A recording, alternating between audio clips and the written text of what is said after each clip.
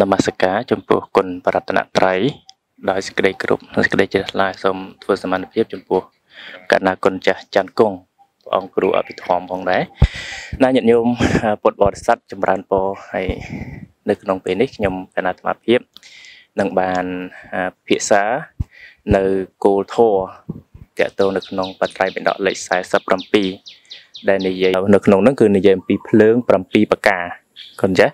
និងភ្លើងទាំងពីរប្រការទី1គឺរាគៈគិភ្លើងគឺរាគៈទី2ទោសកិភ្លើងគឺទោសៈទី3មោហកិភ្លើងគឺមោហៈ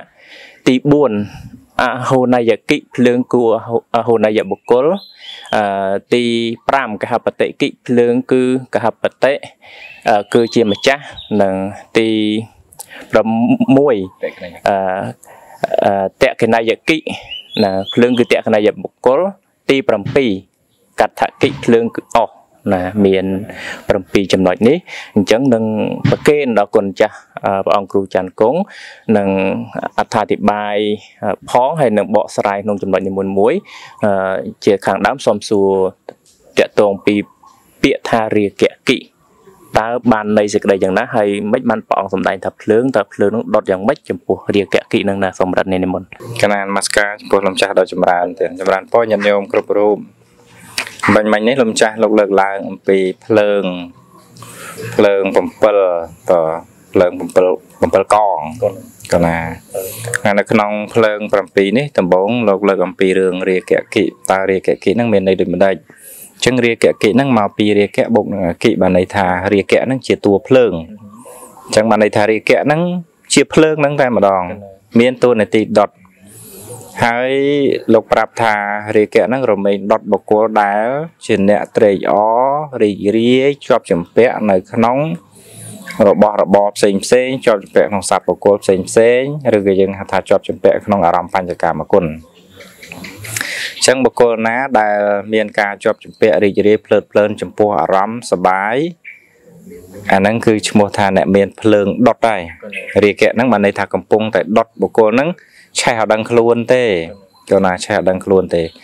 ដូចលោកលើករឿងវិខុនៃមួយអង្គដែលលោកបួសយូរអញ្ចឹងណាដល់ពេលអញ្ចឹងលោកបានន័យថាធម្មតាមនុស្សយើងមិនមានគូក្រងតែដល់ពេលហ្នឹងគ្រាន់តែបណ្ដែតអារម្មណ៍ទៅបរោះម្នាក់ហ្នឹងគឺនាង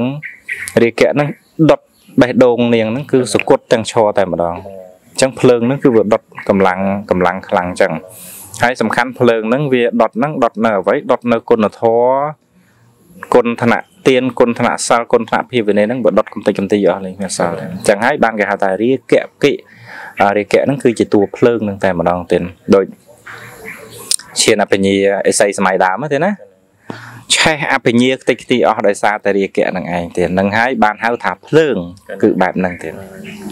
កណាអរគុណគុណចាស់លើកមកពីតកតងពីរាគៈគិហ្នឹងគឺ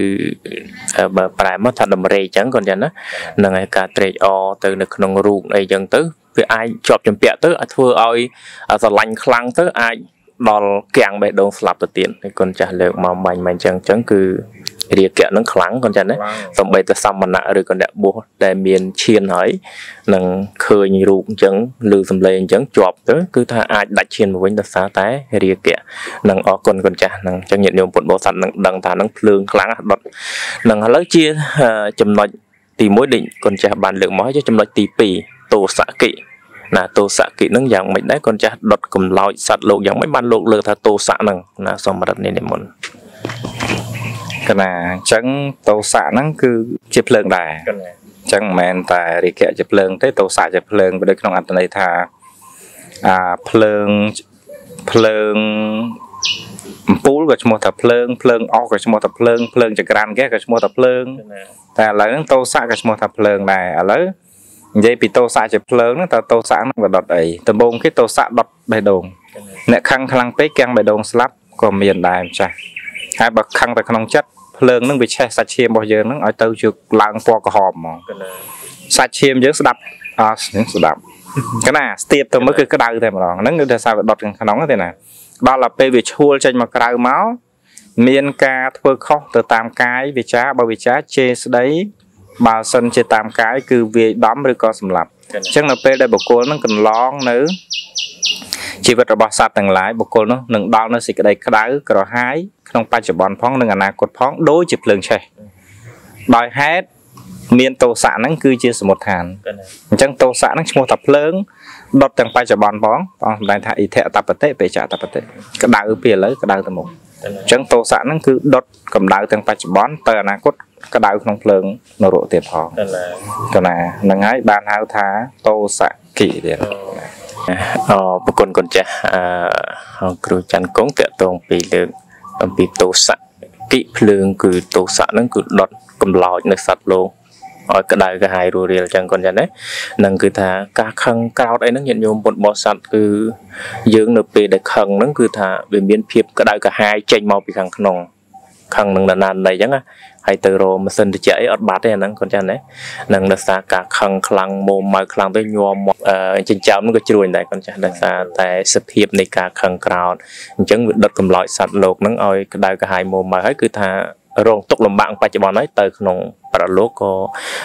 មាននៅសេចក្តីទុកលំបាកដែរអញ្ចឹងណាកូនចាស់អរគុណណាស់អញ្ចឹងញាតិញោមពុទ្ធបរិស័ទគុំសូវខឹងអីណាខឹងច្រើននាំឲ្យយើងកើតទុកហ្នឹងហើយ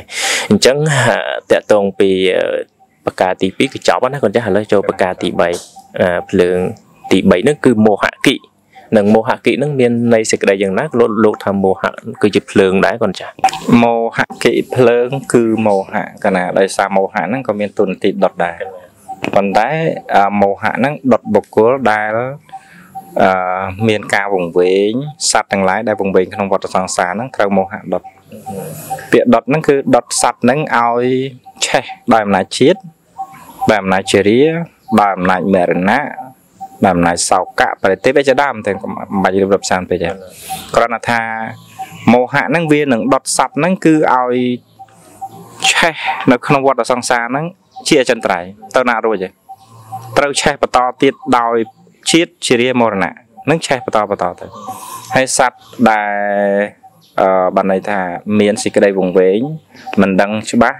នៅទីបំផុតនៃសេចក្តីទុក្ខការកើតឡើងនៃសេចក្តីទុកជាដើមរមែងសបាយរីករាយក្នុងរឿងផ្សេងផ្សេងកណាអញ្ចឹងពេលដែលសបាយក្នុងរឿងផ្សេងផ្សេងខឹងក្នុងរឿងផ្សេងផ្សេងដើមហេតុមកពីសេចក្តីល្ងងអញ្ចឹងសេចក្តីល្ងងហ្នឹងវានឹងដុតឲ្យសត្វនោះធ្លាក់ចុះក្នុងអន្លង់ជាតិជារាមរណៈធ្លាក់ចុះក្នុងភ្លើងគឺសេចក្តីទុកតែម្ដងទៅជាតិជារាមរណៈហ្នឹងគឺ ជាភ្លើងនៃសេចក្តីទុកអញ្ចឹងគឺសេចក្តីវង្វេងហ្នឹងរមែងដុតសัตว์ឲ្យស្ថិតនៅក្នុងសេចក្តីទុកហ្នឹងតែចាប់សត្វឲ្យជាប់ក្នុងសេចក្តីទុកហ្នឹងកណាអញ្ចឹងបានមោហៈហ្នឹងក៏មានតួនាទីក្នុងការដុតកម្លោចសត្វទាំងឡាយដែលមិនឃើញច្បាស់ទីបំផុតនៃភពនោះឯងឆេះរហូតកណាឆេះអត់ចប់ទេ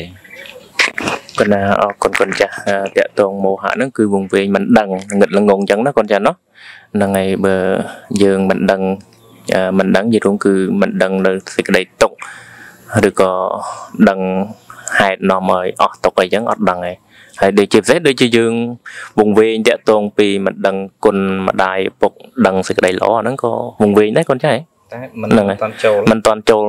ពេញទេអញ្ចឹងកូនចាស់អាចលើកមិនឲ្យដើម្បីឲ្យចូលតែតនឹងវង្វេងហ្នឹងទេអំបញ្ញមិញហ្នឹងទេគឺនៅពេលណាដែលមានសេចក្តីល្ងងហើយរមែងមិនដឹងទុកមិនដឹងសមុទ្រយៈរមែងនាំមកនៃជាតិជារាមរណៈសោកៈប្រទេវៈទុក្ខៈតោមនោសាធម៌ទាំងឡាយនឹងកើតឡើងមកទាំងអស់ដោយសារមានសេចក្តីល្ងងពេលដែលមានសេចក្តីលងខ្ញុំណាឧទាហរណ៍អញ្ចឹងឧទាហរណ៍ដូចក្មេងម្នាក់អត់ដឹងថានឹងភ្លើងទេអញ្ចឹងរមែងដើរចូលភ្លើងហើយក៏ក្មេងនឹងក្តៅរលាក ប្រកបដោយសេចក្តីទុកប៉ុន្តែសួរតែក្មេងនឹងដើរចូលភ្លើងព្រោះអីព្រោះល្ងងព្រោះហេតុដូច្នោះហើយទៅល្ងងនឹងឯងគឺជាភ្លើង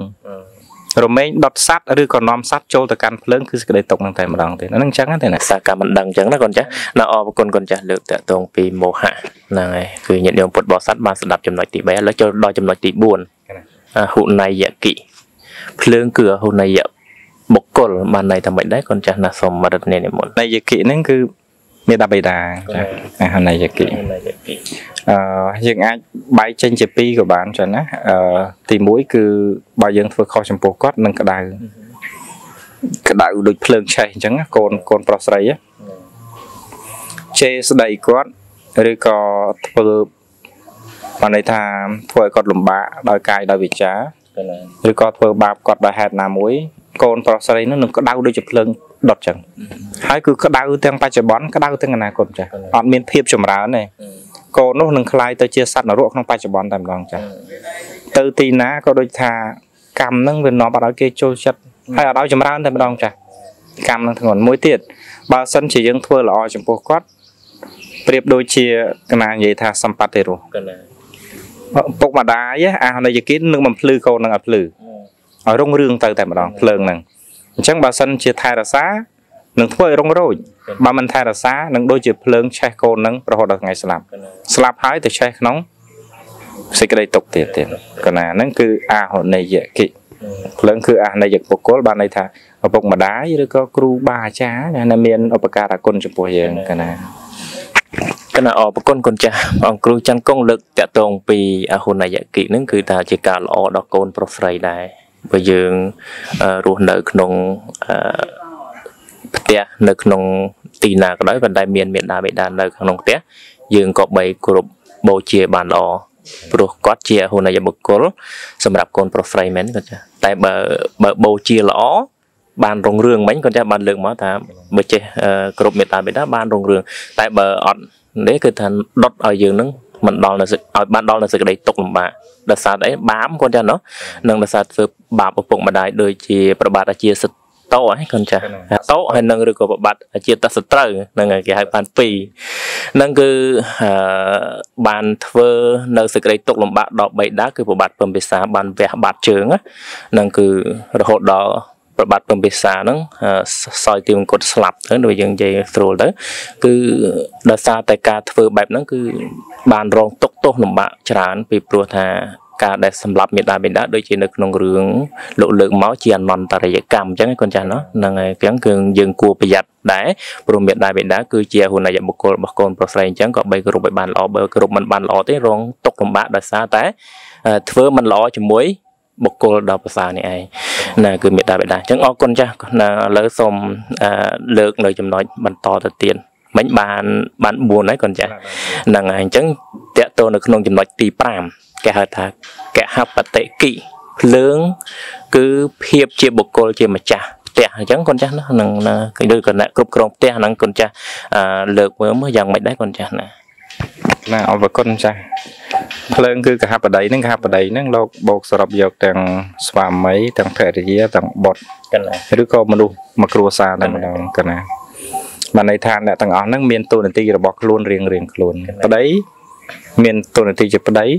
ភរិយា មានតួនាទីជាភរិយា កូនមានតួនាទីជាកូនកណាប៉ុន្តែរឿងកូនជាមួយម្ដាយនិយាយមិញរួចហើយណាកន្លែងអហន័យអញ្ចឹងកន្លែងនិយាយពីភរិយាហើយនិងស្វាមី អ្នកទាំងពីរហ្នឹងបើសិនជាប្រព្រឹត្តល្អជាមួយគ្នារងរោចតែបើសិនជាប្រព្រឹត្តមិនល្អជាមួយគ្នាត្រូវទទួលច្បាប់កម្មផលត្រូវឆេះក្នុងអបាយដូចគ្នាកណ្ណាអញ្ចឹងអាកន្លែងដែលជាហេតុភរិយាទាំងភរិយាទាំងស្វាមីសុទ្ធតែជាហេតុនាំមកនៅការឆេះដោយសេចក្តីទុក្ខទាំងនៅក្នុងអបាយហើយក្តៅក្រហាយក្នុងបច្ចុប្បន្នចាស់យើងឃើញមនុស្សផាត់ក្បត់គ្នាឃើញរស់ដោយសេចក្តីទុក្ខហ្នឹងណាកណ្ណាត្រូវគេជេរស្ដីត្រូវគេបន្ទោសត្រូវគេមាក់ងាយត្រូវគេស្អប់ពើមភ្លើងហ្នឹងចាស់ភ្លើងកណា កណាសេចក្តីទុក្ខបានទទួលទាំងបច្ចុប្បន្នហើយអនាគតម្យ៉ាងទៀតការបដិមួយទៀតគឺជាប់តែតងរឿងអ្នកធំកណាជាប់តែតងរឿងអ្នកធំដែលមានយសស័កដែលមានគេឈ្មោះអាចឧត្តមអុកញ៉ាបរិយាជាអីអីហ្នឹងគឺជាភ្លើងកណ្ណាទោះបីជាតូចក៏ដោយក៏មិនគួរមើលងាយដែរប្រមាថអ្នកធំរមែងបានដល់នៅសេចក្តីទុក្ខអានេះវារឿងពិតទេម្ចាស់ភ្លើងដោយសារអីអ្នកធំគឺមានអំណាច អញ្ចឹងគឺនៅពេលដែលប៉ះពាល់ហើយរមែងនាំមកនៅសេចក្តីទុក្ខដូចគេថាសមណៈជួនជីកុំឲ្យសមណៈជួងជីកុំឲ្យក្តីត្រូវទេណាសម្ដេចចូលតញ្ញាណាជួនណាតលោកលើកមកណាគឺបានន័យថាអឺញាតិញោមទៅក្តីប៉ះលោកហ្នឹងក្តៅអញ្ចឹងណាអាហ្នឹងដូចថាយើងទៅក្តីអ្នកក្ររងកច្រកឆ្នាំងមិនបានទៅក្តីជាមួយអ្នកធំវាក្តៅណាបានតែសេចក្តីទុកប៉ុណ្ណោះឯងហ្នឹងហៅថាកហបតិគិទៀតតកតងពីកហបតិគិគឺគុណចាស់លើកមកហើយតកតងនឹងបដីហ្នឹងក៏ជាភាពជាម្ចាស់អញ្ចឹងណាគុណចាស់ឬក៏ប្រពន្ធអញ្ចឹងអញ្ចឹងក៏បីគ្រប់ទៅតាមទូនីតិបានល្អបើមិនអញ្ចឹងទេវាអឺដុតក្តៅហើយឲ្យយើងដល់នៅសេចក្តីទោសឲ្យគុណចាស់អាចលើកមកទៀតថាអ្នកធំហ្នឹងក៏គួរដល់ការគ្រប់ចឹងដែរអញ្ចឹងណាគុណចាស់ណានឹងអរគុណចាស់អឺលើលើកតកតងពីភ្លើងហ្នឹងគឺកហបតិគិនឹងដល់ពេលចំណុចទី6លោកលើកមក អឺតេកណីយគិតក្កិណយគិតក្កិណយគិហ្នឹងមានន័យយ៉ាងណាមានសេចក្តីយ៉ាងណាសូមរត់នេះនិមន្តអតេកណីយបុគ្គលហ្នឹងបុគ្គលគួរដល់ការបូជាបូជាដោយចៃវរបច្ច័យបណ្ឌបាតបច្ច័យសេនាសនៈបច្ច័យកលៀនភេសជ្ជៈបច្ច័យហើយតេកណីយនៅក្នុងទីនេះគឺសំដៅយកព្រះអរិយបុគ្គលចាស់ចាប់ពីសោតារហូតដល់ព្រះអរហន្តកណាបុគ្គលទាំងអស់ហ្នឹងទាំងចាប់ពីសោតាទៅដល់ព្រះអរហន្តហ្នឹងប៉ះអត់បានទេប៉ះដោយដោយសេចក្តីក្រោធ ក៏អត់បានប៉ះដោយសេចក្តីស្រឡាញ់ក៏អត់បានហើយសទ្ធាអត់អីទេខ្ញុំខ្ញុំខ្ញុំណាលើកមកថាប៉ះដោយសេចក្តីស្រឡាញ់អត់បានមិនដូចជាអឺកហបតីម្នាក់ដែលស្រឡាញ់ក្នុងរូបព្រះមហាកច្ចាយណាគាត់មិនបានតាំងចិត្តប្រមាទទេគាត់គ្រាន់តែថាបើសិនជាបានជាភរិយាមិនដឹងអស្ចារ្យប៉ុណ្ណាឃើញទេដោយសេចក្តីស្រឡាញ់ណាតែចុងក្រោយខ្លួនឯងទៅជាស្រីនឹងមួយមួយទៀតកុហកសមណៈអឺ បរោះថោកទៀតអ្នកឯងដឹកអីដឹកអាចកដោអញ្ចឹងអាចកដោទៅទាំងអស់ដីផ្លៃសោះហ្នឹងណាម្ចាស់គណាហើយប្រធេរៈមួយអង្គទៀតនោះលោកជាប្រសោតាប្រធេរៈមួយអង្គទៀតជាព្រះអរហន្តលោកមកវិបិណ្ឌបាតលោកម្ចាស់ជាប្រសោតាស្ដីឲ្យលោកម្ចាស់ជាព្រះអរហន្តហើយលោកម្ចាស់ឃ្លាននោះឃ្លានមកដល់តុកបាតមិនតាន់ណាឆាន់ដល់ទៅពេលប្រធេរៈលោកឆាន់លោកសួរអវសោអឺជាសិក្ខៈសិក្ខៈលោកថាខ្ញុំកណាសិក្ខៈ ហើយលោកក៏ប្រាប់ថាធម្មតាសិក្ខៈតែរៀលអសិក្ខៈរមែងមិនរីកចម្រើនទេហើយលោកក៏សុំកម្មាទោសអញ្ចឹងកន្លែងហ្នឹងអាកាលដែលយើងប្រមាថស្ដីបន្ទោសពួកសមណៈដែលមានសិលជាព្រះអរហន្តព្រះរិយបុគ្គលក្តៅចាมันអាចចម្រើនគុណធម៌ទេចាចម្រើនគុណធម៌មិនបានកណាណាអញ្ចឹងគឺបើសិនជាកម្មាទោសបាន តែបើមិនសឹងមិនអញ្ចឹងទេគឺ ឋានសួគ៌ត្រូវបិទហ្មងកណាណាសុគតិត្រូវបិទអបាយភូមិនឹងបើក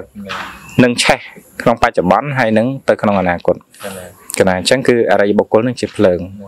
ទាំងសមណៈព្រាមដែលក្រងស្បង់ជីវរនេះក៏ភ្លើងដែរកណានិយាយលេងសាយឲ្យបាននេះកណាលេងសាយទៅពីអនាគតទៅគឺទទួលអ្វីដែលយើងអត់ចាប់អារម្មណ៍ទេទាំងកាអត់ចាប់អារម្មណ៍ទេយើងនឹងត្រូវបានទទួលភាពក្តៅក្រហាយហ្នឹងត្រឡប់តបមកវិញមិនខានកណាកណាប៉ុណ្ណឹងទៀតមានអីបន្ត កណាអរប្រគុណគុណចាស់អាបានលើកមកតកតងពីតក្កិណយគិហ្នឹងគឺគុណចាស់បានលើកតាំងពីថ្នាក់អឺអឺក្រោមដល់មកសតតារហូតដល់រហូតដល់អីគេគុណចាស់ព្រះអរហន្តក៏ណានឹងបើយើងយើងងាយទៅ ក្នុងបច្ចុប្បន្នហ្នឹងក៏យើងអាចដឹងបានដូចជាប្រសង់ហ្នឹងគាត់ចាស់ណានឹងជាប៉ុន្តែវាគាត់ថាប្រសង់វាមានសមត្ថសង្ឃហ្នឹងអីគេ ព្រះអរិយសង្ឃអញ្ចឹងយើងនៅក្នុងសម័យនេះគឺយើងមានហៅថាសមត្ថសង្ឃគឺប្រសង់ដែលបួសនៅក្នុងស្រុកខ្មែរយើងទាំងមូលហ្នឹងគាត់ទៅហ៊ានទៅប៉ះអត់សូវអត់បានទេព្រោះយើងជេរបន្តិចលោកអីចឹងណាគាត់ចាស់ណាហ្នឹងហើយហ្នឹងយើងមើលអត់ឃើញតែក្តៅបាបគាត់ចាស់ណាអញ្ចឹងគឺយើងគប្បីប្រយ័ត្នប្រយែងដែរញាតិញោមពុទ្ធបរិស័ទតកតងពីបុគ្គលដ៏ប្រសើរតែបើបុគ្គលមិនប្រសើរយើងទេដៀលយើងតិចទៀតមិនអីទេមិនតែ